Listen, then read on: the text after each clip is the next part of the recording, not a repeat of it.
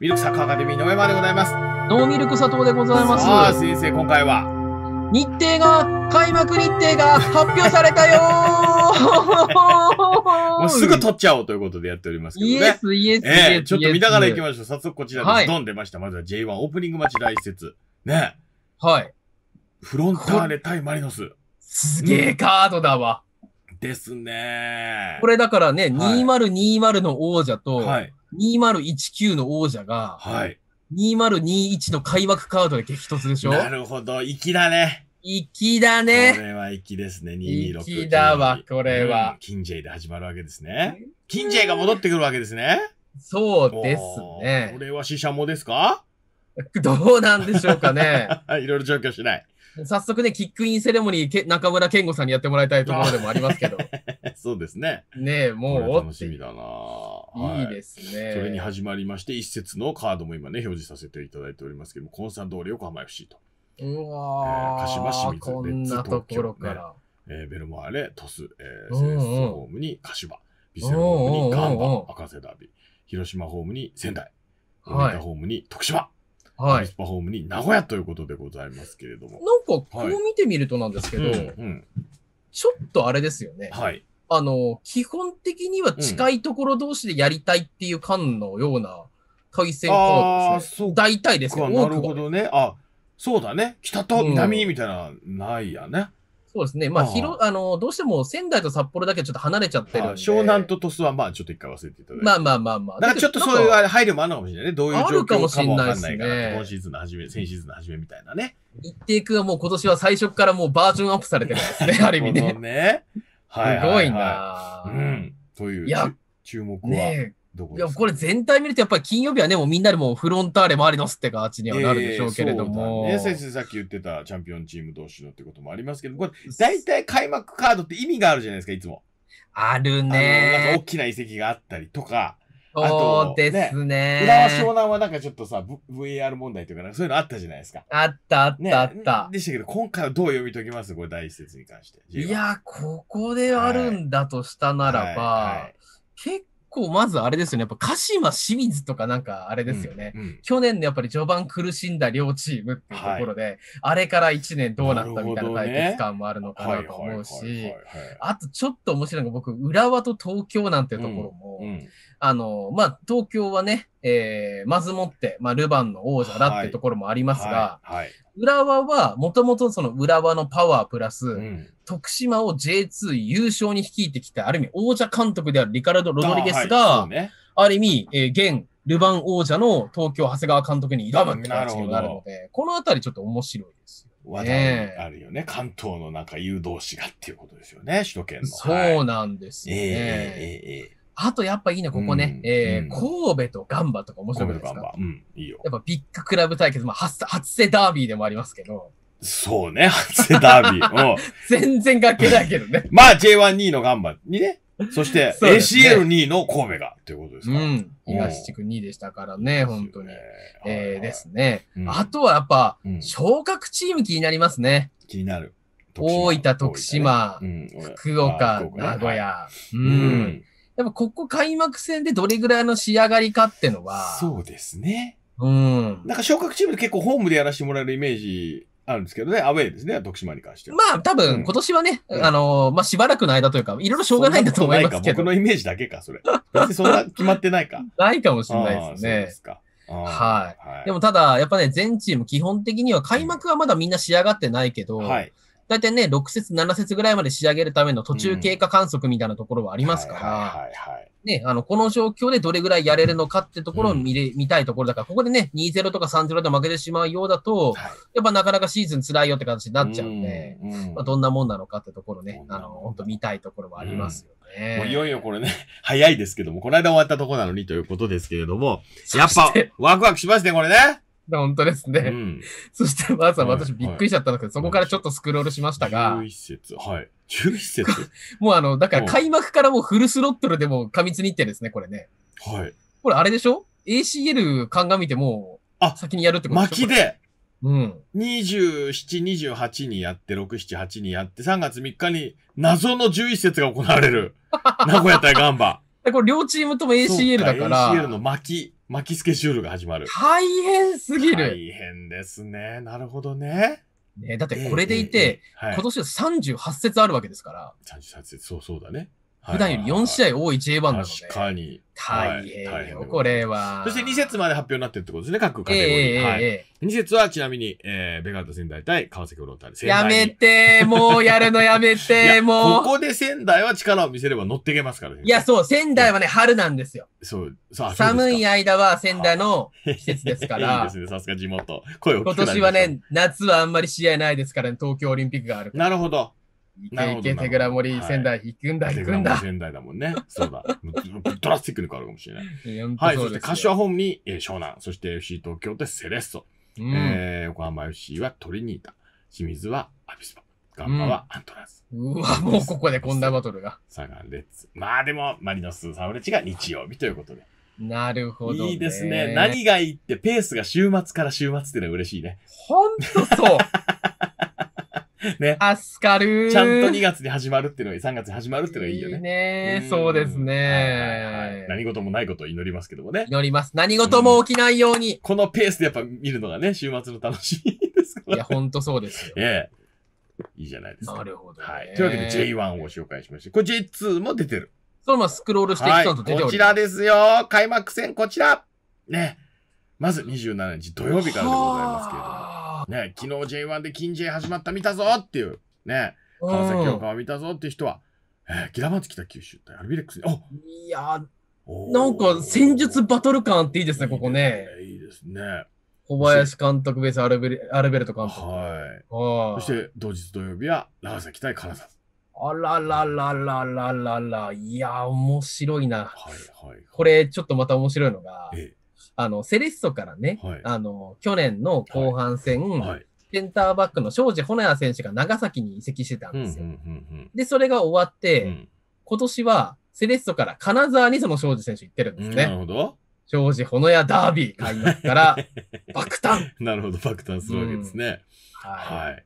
水戸宮というね。あい。いやー、ここの関。係性ね。えー、えー、栃木、岡栃木山。は岡山ですね。えーそして群馬。あ、群馬。あら秋田ららららら昇格らら。組の秋田は、まずアウェー群馬に乗り込むわけですね。なんかでもちょっと秋田良かったですね。あの、ほら、うん群馬一回 J3 経験してはい、るから、あ、そうかそうか。グラデーションインみたいになりますもんね。ね、秋田経験してるスタジアムにもなるからええ良かった感じありますね、これはね。そういうことか。う。うんん。で、そして、ち千葉と甲府。甲府。うん。で、ベルディ、はい。町田、山形。はい。あ、そして来ました。相模原が、京都を迎えますよ。祇園。ねから歌かとバイツか。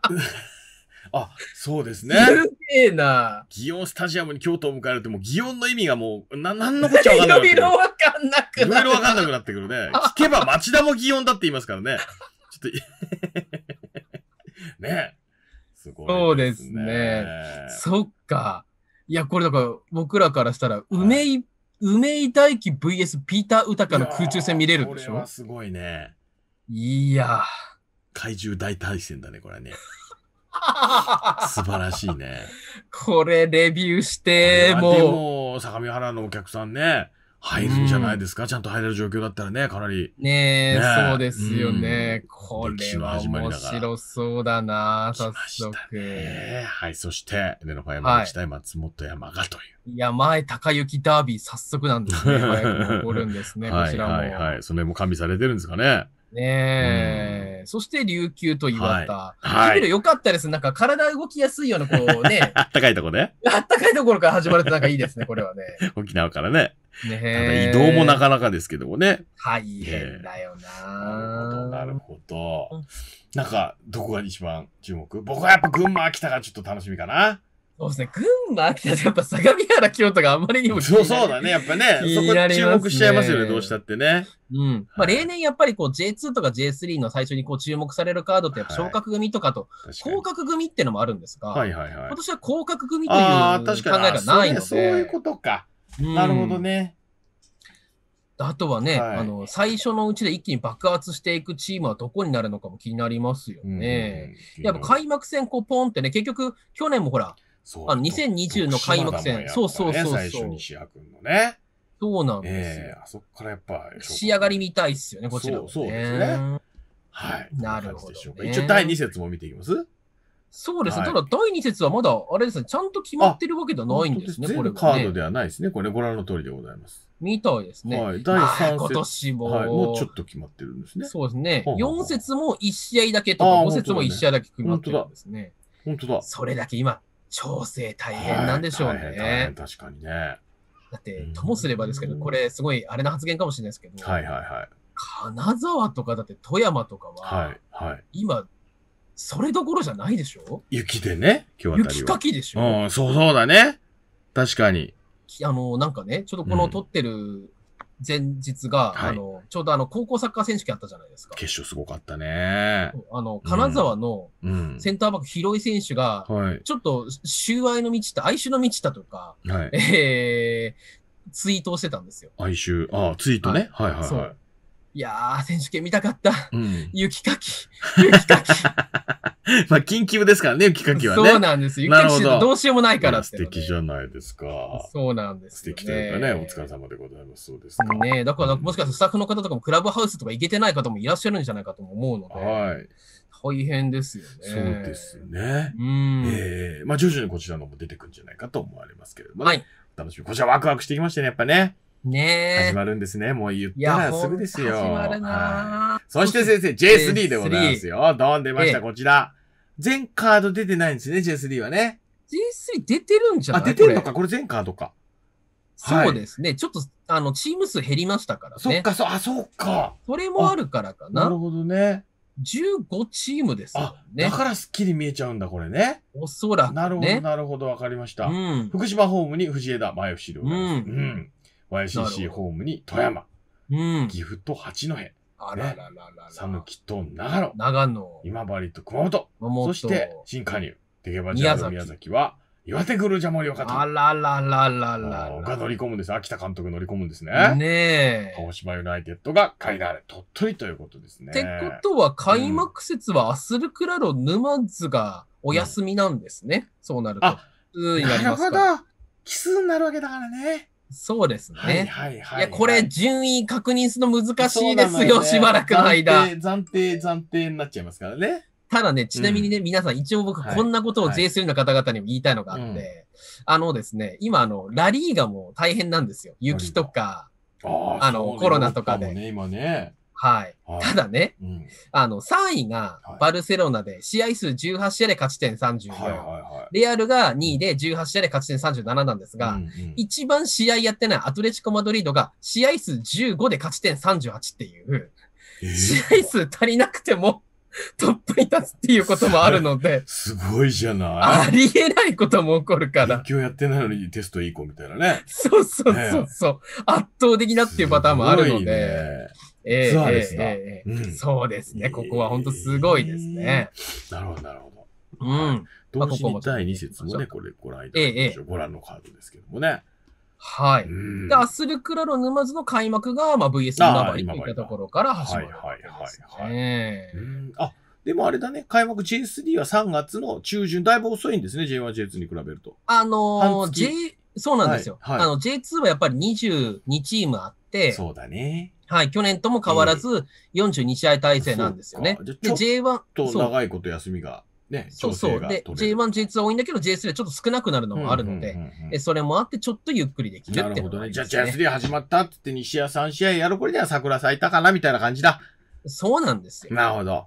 だから、うん。今よくあの、ツイッターとかでも、ええ。なんでうちのクラブ移籍の加入とかあんまないの？ってこううんうんうんうん。J3 のサポーターの方言ってらっしゃるんですけど、ええそれはそうで J1、うん。J2 は2月末スタートだし、はい。J32 週間後とか3週間後のスタートだから、確かに。移籍市場もそれぐらい遅れていいんですよ。なるほどね。うん。はいはいはいなはい。ので12月末のドドッとしたものが、ある意味でそっか1月の末くらいにじゃあもう J3 はあるん2週間遅れはもういいでしょってことなんですね。うん。それぐらいでいいんじゃないかなと思いますうんわかりま。した。第3節もね、この少し決まっておりますということでございます。はい。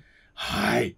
というわけで先生お送りしてきました。もう今の今ですからね、出たのがね。まさに今、えー12日の火曜日今ね、あの、夕方5時半に撮ってますけどもね。そうですね。ええもう LINE もね、各チームの LINE 登録しますが、ペペペペ決まりました、決まりました、決まりましたっていうのが来来てますから、これね。そうね。ええいやいやいやいや楽しみいやいや。でございました。やっぱりね、ということでいいですね。未来の話はいいですね。いいね。ねえ、ほんとそう。サッカーはこういうのをくれる。ありがた今い。年はね止まりませんように。え ーね、楽しんで参りましょうということで、速報でお送りしてきました2021年、えー J1、J2、JSD の、えー開幕日程発表でございました。ございました。発表でございましたってね、読み上げてるだけですけど、ありがとうございます。偉そうにすいません。えー、ミラカ毎日やってますんでね、ぜひチャンネル登録、えーこれまたぜひよろしくお願いします。お願いします先生、ありがとうございました。ありがとうございました。また明日です。どうもどうもです。